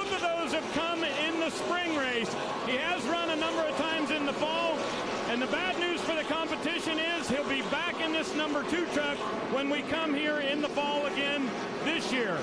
Austin Dillon handed over the reins to his younger brother Ty, and he is picking up right where that three truck was a year ago. Dillon running second, even though they weren't very good in practice, and he is learning a lot from watching the line that he has watched Kevin Harvick run around this Martinsville Speedway. Now let's check in on the 31 with Hermie. Well, Ray, James has had a really solid day on the racetrack and on pit road. Solid pit stops. His truck is still a little bit tight, but they're still working on it. He's got what he's got for right now. The best it's been all day. They're hoping to settle in and get him a top 10, top 10 finish out of this day. Now, Johnny Sauter, we've heard him talking on the radio. He wanted to put this thing on the truck. Well, as you said, glad he's not. He's the best he's been all day. A little bit loose on the exit of the corner for right now for Johnny Sauter. Justin Lofton as well has been solid all day long. Same trouble as basically James Buescher, tight through the center, but they've been afraid to free it up too much in the center because it hurts his forward bite. So Justin Lofton right now holding on to a top five position. Ray? Timothy Peters in that number 17 back in sixth spot right now. He started third today, but they've had to make a lot of adjustments on the pit stops. The last two times that he's come in, they've lost a couple of spots in the pits because of all the things they were trying to do to make the changes on the truck. And Todd Bodine runs in seventh, right, Hermie? Yes, Ray. Todd Bodine in seventh position right now. Had a pretty good day. On a long run, he loses forward bite in this 11 Toyota. So they don't have it perfect, but Todd Bodine still looking for that first ever short track victory. He's got to get a little more forward bite to get it done, Ray. Cale Gale had the thrill of his life winning in the ARCA series at Mobile Speedway, his hometown. The place went crazy said he's been carrying that momentum with him for sure. But today, all the changes they've made on that number 33 have actually made it worse. He said they just cannot get up off of the corner. He is struggling to steer that thing all throughout the day today. How about the Nelson Piquet truck who's running ninth? Well, he just got up to that ninth position, Ray, and he's holding on to a loose trunk. Has been since the last time they were on pit road, but he's not as bad off of turn two, but off of turn four cannot get the forward bite, which makes it difficult to pass trucks on this racetrack. Jason Leffler, another driver really needing a good run. They got really tight on the run before last, but made some improvements to the 18 on this run, and he's driving his way back up into the top 10 is Jason Leffler. Great job, guys, getting us through the top 10. Again, Harvick out in front. He's got about a one and a half second lead over Ty Dillon, who's been running second pretty much the whole race. You know what the guys were talking about is what these truck drivers would like to change on their trucks. They've got what they've got right now. We're only, you know, 36 laps from the end of this race. You cannot give up the track position and come to pit road. Even if the caution were to come out right now, I don't think that any of the trucks up in the top seven or eight positions can stop, can they? They're not coming. Hard to catch Kevin Harvick as he runs away from the field. Tomorrow, immediately following the Cup race from right here in Martinsville, turn to speed for NASCAR Victory Lane. Celebrate with the winner and get the ultimate race recap from Martinsville. NASCAR Victory Lane after the race right here on Speed. Problems for the 11 of Todd Bodine. The right front tire goes down on that truck. Looks like it's got the sway bar too, Phil. You see the left front of that truck up in the air. He probably ground the sway bar off when that tire blew out right there. Did you see that pressure from that? Yeah, now his now his sway bar is broke as you mentioned, so he's just going to have to limp around here the rest of the race. Everybody does a nice job avoiding him when that tire went down. Watch this truck when he goes down to the corner though. The car, the trucks are set up predominantly with that front sway bar. The way the whole setup works is because that bar ties it down. You take it off, you can't drive the thing. Even a short racetrack like this, it's a huge sway bar, way bigger than we used to run back in the day. I thought someone was putting an axle in there the first time I saw somebody put a sway bar in these days. Ray, what's going on with the 18 team? Well, Ross Chastain in the 08 is running 10th, and he's right behind Leffler. And he said his windshield is absolutely covered. So there is apparently some kind of fluid coming out of that Dollar General Toyota. Chastain said, I got to drop way back or I'm not even going to be able to see. So we need to keep our eye on it. And a good bit of damage on the front end there. Looks like Jason may have gotten into a few people. And over in turn two, we just saw the 22 of Joey Coulter get way up up on the racetrack. Yeah, Joey Coulter almost into the wall coming out of turn number two. He Another right front tire there, so could be interesting to see how this thing winds up here with just 25 laps to go. Can these guys make it to the end on these right front tires? Caution comes out, so we will have a reset point. Everyone will be able to catch their breath. David Reutimann in the 92, the right front tire down on that truck as well. I think we found out how long the right front tires were going to last here. What do you think? And again, it's it's not an indictment on Goodyear. We've got a lot of brake heat Right. here, a lot of bead temperature. But we saw three right front tires go down within, within the space of about five laps. Todd Bodine in the 11, he had a tire issue. Then you see the 22 of Joey Coulter, also a tire issue. That didn't bring the caution out until the 92 of David Reutimann, also with a tire issue. Yeah, Joey Coulter's second flat right front tire was far enough around in the corner he was able to get that truck stopped. The other one happened right when he loaded up that right front tire going in turn number three. That's when he made contact with the outside wall. You see pit road open. None of the leaders are coming. No, and that, that's make that's probably making Ty Dillon wonder. You got to think those trucks are set up somewhat similar. Ty Dillon wonder is my right front tire going to make it to the end? How about Kevin Harvick? And Kevin Harvick as well. True. Well, Kevin Harvick, being a veteran at this racetrack, probably knows how to manage his brakes. Ty Dillon might not be running the same way as Kevin Harvick is, so there might be a little question mark in Ty Dillon's head. He's been running a pretty smart race. We, you know, we watched him. We watched that thing not slamming down, him jamming on the brakes that hard, and I'm sure he's been coached too. They know that we've lost some right front tires, so they, he's been coached to ease up on those brakes. Inside of 22 laps to go. Pop, pop. Probably talking to Ty Dillon right now on that radio.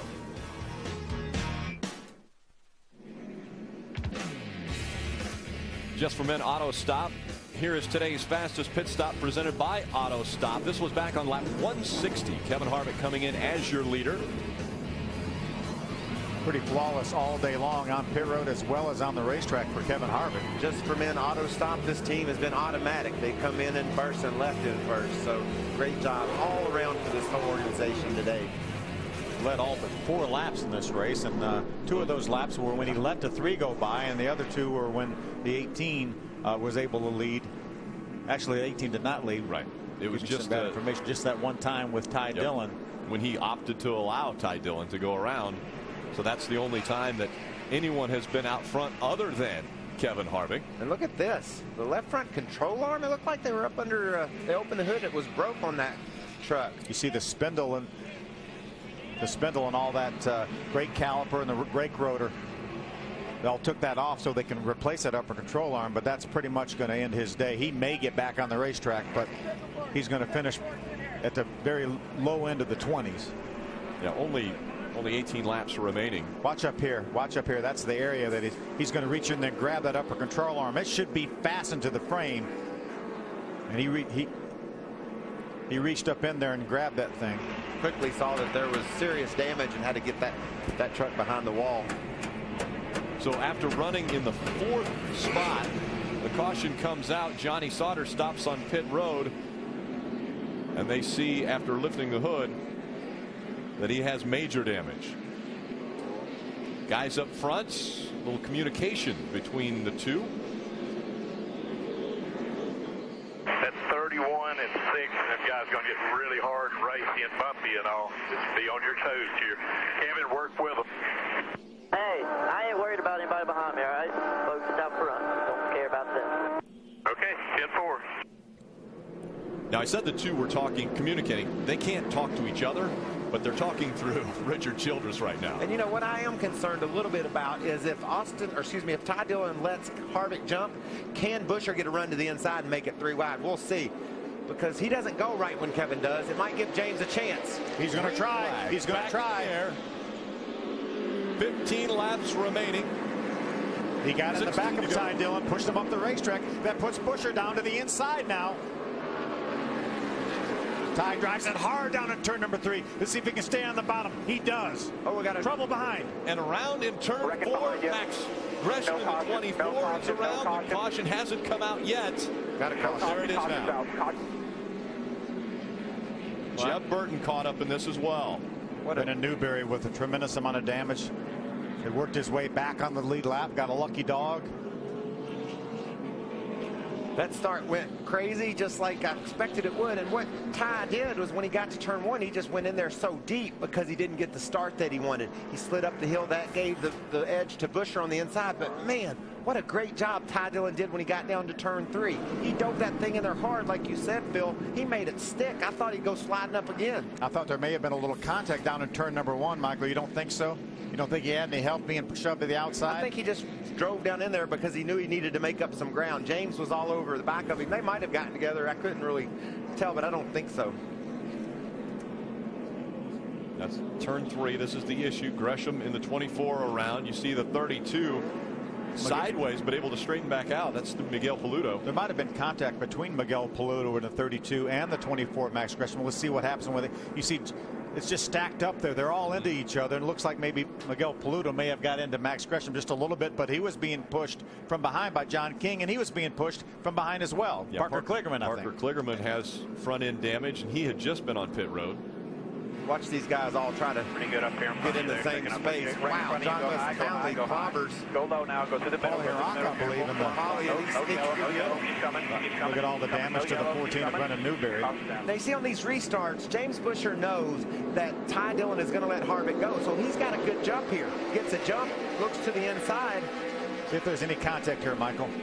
Not, uh, maybe a little bit. Might have been a little bit, but Ty looked like he got a little bit loose, whether that was from contact or, as you mentioned, trying to drive in there so hard to, to keep Buescher behind him. Watch him go in this corner, though, deep in the turn, and he makes it work. Take a look at this. That was the nine of Ron Hornaday. He was not in position. Now, this is on the initial restart here. And he's been posted to come to pit road. So we're going to stay right here. That wreck's going to happen right in front of him. Max Gresham has two trucks in front of him. See him get all stacked up there. There's Paludo. Oh, and Jim just couldn't get that truck turned to get his way underneath Gresham and the cost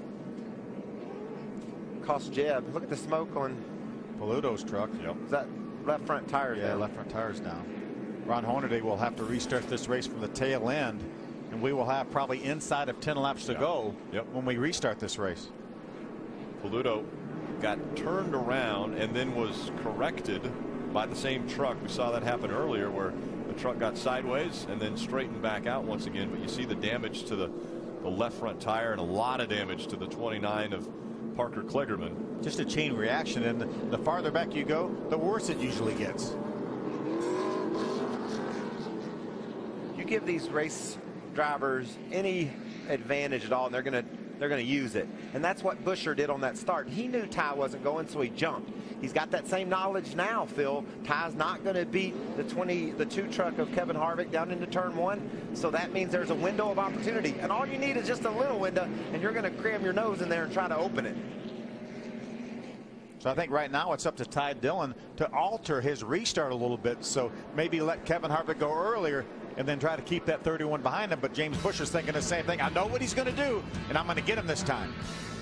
Closing in on inside of 10 laps of racing to go for the trucks at Martinsville. The NASCAR Camping World Truck Series on Speed is brought to you by Camping World in Good Sam. Everything for the RV lifestyle, including RVs, accessories, warranties, insurance, and roadside assistance. And by Toyota Auto Care.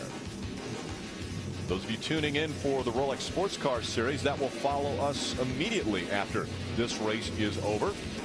I would say stay tuned for that because those guys like to beat and bang about like these truck drivers do. Yeah. You want action, you got it right here on speed. It could be. They did it for 24 hours in Daytona. It, it might be almost as crazy as what this one has been like. Ray, what's going on with that 33? Well, they just had to pit for a flat tire, and I just looked at the tire. They ran over a big piece of debris. But Cale Gale's going to give up a top 10. I think he was running sixth when he came to the pits. Pace truck has made its way onto pit road when they come back by the stripes. Six laps of racing to go. Ty Dillon on the inside. Kevin Harvick on the outside. Green flag back in the air. Watch Buescher now. Watch Buescher. Ty did a great job staying right next to Harvick. Who often gets shoved up the hill. There may lose a spot to Timothy Peters. Now he gets back in line. Look at how deep Ty Dillon drives into turn three. Gets that truck stopped, aims it the other way. Great start by our front row. This time by five laps of racing to go. Kevin Harvick has only has led all but two laps of this race. If he leads the remaining laps, he will have led 248 laps. That will be more than any other driver has ever led in the history of the Camping World Truck Series. See a little bit of contact back there. J.R. Fitzpatrick, Miguel Paludo making contact. Not when you start pushing and shoving here inside of 10 laps to go. This thing has a green-white checkered written all over it, the way these guys are aggressively running each other. Our top 10 got all jumbled up with that spin down in turn four. Nelson Piquet working to the inside of that 0-8, trying to get by Ross Chastain. Looks like he's going to make the pass. Ross gets back in line in front of Jason White. Now Kligerman moves to the inside of John King. No room there that time. Next time by, two laps of racing from Martinsville. A great run by Nelson Piquet Jr. He's up to the seventh spot.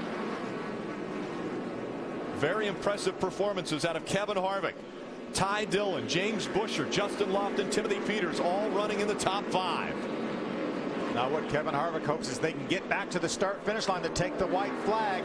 If they take the white flag before something happens, that will be the last lap. Coming out of turn four, Kevin Harvick sees the white flag, takes the white flag, a half a mile to go at Martinsville.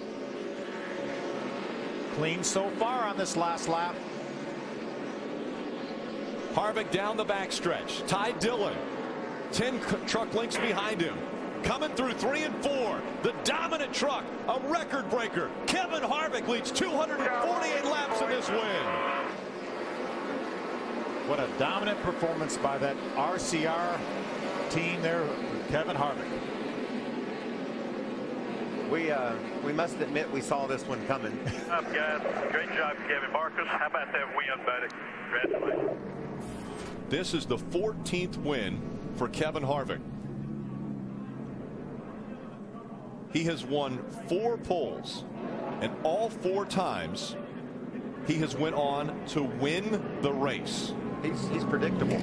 he starts first and finishes first. This, this is the most dominant performance we've seen out of him or anybody in the history of the of the series, leading 248 of, of 50 laps. Kevin's going to celebrate on the racetrack. Let's go to the pit stall with Ray Dunlap. Well, let's talk to his crew chief, Marcus Richmond. When you guys got into the first practice, you ran eight laps. He said, put her on jack stands. It was about perfect. You had her on rails today. Congratulations. I appreciate it, man. I want to dedicate this win to Frankie Allen. He was a hard worker on the two truck. I just, uh, this Tide Chevrolet was awesome off the trailer, man. It's just unreal. Um, this this whole group, the 22, everybody worked together. All of our setup was very close. Um, I just want to thank everybody at RCR for the opportunity. And man, well, Kevin Harvick, you, you better win. Congratulations. I think there's more of those coming this year, guys. What a dominant performance by Kevin Harvick. And all of RCR, we had Ty Dillon, who had never been here in the truck, obviously only what four starts previously in his career in truck series and comes here and finishes second on a very difficult racetrack. And there he is right there. Ty Dillon climbing out of that number three truck. Hornaday has been asked to go visit Wayne Auton, the series director. He's been told to. He has been told to. That is correct. I think Ron was upset with somebody. He may go up here and find him right here. I don't know where he's going. He's just going to the front of the line there. Charging up. And they're telling him to slow down. And right by that official. It's been a tough week for the Hornaday family. Again, Lindy losing her mother earlier this week. Ron's wife. And so now Ron with the little frustrations after the short track run here will go visit with series director Wayne Auton. And he may not have been mad at anybody. Right. He may have just been upset with the day he had here. He's being shown finishing 16th, and that's uh, very un-Ron Hornaday-like. Great run for the 31 of James Buescher. He's standing by with Hermie. Well, James Buescher, good solid run for you guys. Good on the racetrack, solid in the pits. Tell us about your day. Uh, it definitely was a, a, solid day for us. Uh, all the guys at Turner Motorsports did a great job building this truck. Uh, we did a lot of testing, myself and my teammates, uh, a few weeks back, and, and we thought it was going to help us a lot. And I think it did, but what we showed up with wasn't the package we needed. We were really bad in the first practice, and uh, you know the guys stuck with me. We, we, worked and worked to, to get the truck good, and it was fast in the second practice. Um, you know, it wasn't there on the on the scoring monitor because because we didn't have a very good qualifying lap, and uh, we got lucky with qualifying today, qualifying with some shade and, and the track heating up. So, uh, you know, it was a good, good clean day for us. I've never had a, a, such an uneventful Martinsville. So, uh, you know, it was a good day. We, we started in the top 10 and just worked forward all day long, and uh, just a little, little dent in the grill, and uh, we'll bring it back next time. That's James Buescher. He comes home third. Ray, you're in victory lane. Yeah, and here comes Kevin Harvick, and I have a feeling there's going to be a few Budweisers flying in the air. Yep. Some Tide on top of the car truck. Tide Chevrolet, Kevin was on rails. I have a feeling the driver had a good bit to do with that, but from the very first practice, you guys looked like you were the truck to beat. Yeah, I just I want to thank everybody from Kroger and Tide, um, Rheem, everybody who's a part of this program for uh, for being a part of it. Brendan, South Point, um, I, these guys just did a great job preparing for this race and coming here. And uh, the truck was good right off the trailer. And um, what else can you say? It just I told Richard when he leaned in the window, I said, "Why did I ever start race teams? Can you imagine how many wins we'd have had if we'd never done that?" So, but it's um, it's a lot of fun. These guys are all a lot of fun. I felt like Dad there with with uh, Ty and, and, those guys, and uh, it's great to see everybody working together. You're talking about a big picture of building a team here and being part of helping too. Well, you know, I, I kind of feel responsible for uh, for Austin and, and, and Ty at least at least helping them get to, to where they want to be, and that's in Cup, and it all starts in the Truck Series and Nationwide Series, and they're both really good and, and fun to be around. Another grandfather clock. Kevin Harvick, the dominant truck today. The Tide Chevrolet sits in victory lane once again here at Martinsville. That is the third win for Kevin Harvick here at Martinsville, tying Dennis Setzer and Mike Skinner for the most wins at this famous track. The Kroger 250 goes to Kevin Harvick. In two weeks, The Rock is back. After an eight-year hiatus, NASCAR makes its return to Rockingham Speedway with the Camping World Truck Series. It's the inaugural race for the trucks in Rockingham, and everybody will be looking to get their name in the record books. Who will be the first truck winner at The Rock? Tune in to find out. Krista Voda hosts the setup starting at 12.30 p.m. Eastern, followed by flag-to-flag coverage, only on Speed. And for more information on that Rockingham race, rockinghamspeedway.com has all of your information. The Kroger 250 in the books now. Kevin Harvick ends up in victory lane. The guy who was close, oh, so close all the time, Ty Dillon, was uh, finished in second and led two of the 250 laps, and he's standing by with Hermie. Well, Ty Dillon, you qualified second finished second overall. A good solid day for you guys. Definitely. Um, the way yesterday went, we struggled all day, but these guys are awesome. They worked hard. Flash and I stayed up all night. Didn't get much sleep because we just went that good, and we showed up in qualifying, put her second, and raced second all day. The pit stops were awesome. Uh, can't thank Bass Pro, Chevy, Tag Heuer, everybody involved on this team. It's it's awesome day, and I, I'm so excited to get this year going.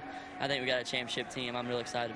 And talk about the cooperation between you and your teammate Kevin Harvick on the restarts. Worked out good for both of you guys. Yeah, that was uh, logically the best way for both of us to get out front. But there at the end, it got a little hairy. I don't know if my rear tires are the last two restarts, if they even touched the ground uh, through through one and two. So it was a little scary, but it worked out all right and uh, take second place on my first Martinsville. That's rookie Ty Dillon. He qualified second, finished second. Pretty good day for the rookie. Yeah, impressive day. And talked about the big picture and a championship team. Want to look at the point standings after two races. Those guys are right in the hunt. Look at who our point leader is. Our winner from Daytona came out with a ninth place finish today. That's not a feature win, number four for John King, but man, he struggled early. Got a top 10 leading the points. That's a great accomplishment. I'll guarantee you asked John King if he would take a ninth place finish before he came here, and he said, heck yes. Jason White's another cat that was uh, in the back most of the day, fought his way to a top 10 finish. Great run for Jason White. All these guys on this page are championship contenders for sure. The Ford unofficial point standings has Nelson Piquet Jr. in eighth. What a great run for him. Again, those are your point standings, and Nelson Piquet Jr. ended up in the sixth spot. We take a look at our unofficial results of this race. Again, Harvick, Dillon, Buescher, Lofton, and Peters were your top five. Some great stories here in the top 10. As you mentioned, Nelson Piquet Jr. How about Ross Chastain with a seventh place finish? Leffler Soldiers onto a top 10. John King and Jason White round out the top 10. Jason White and John King were partners most all this day, and they wound up partners in the top 10. Just outside the top 10 in 11th, Parker Kligerman, Jared Fitzpatrick, Jeb Burton in his first ever start finishes up in the 13th spot. Let's go back down to Hermie. Justin Lofton brings his Eddie Sharp Racing truck on with the top five. Fourth place today at Martinsville. This last couple of restarts looked they were quite exciting. Yeah, definitely. Uh, you know, I don't know if Kevin was uh, was kind of blocking, helping the three out or what, but I tried to push him into the into turn one on that last restart to hopefully get enough room to get around get around Dillon, maybe you know challenge him for the win. But awesome day for the uh, CollegeComplete.com Chevy. Uh, you know, our guys in the pits were, were tremendous. Every every pit stop, we picked up a couple spots, and it really helped out. It makes things a lot easier. So, uh, great day, and looking forward to going to Rockingham next week. That's uh, Justin Lofton. He comes on with a fourth place finish. Yeah, fourth place finish after Thank the you. third place Yeah. finish at Daytona. So a very impressive two races for Justin Lofton, but a great run for Kevin Harvick. Congratulations, Kroger 250 winner.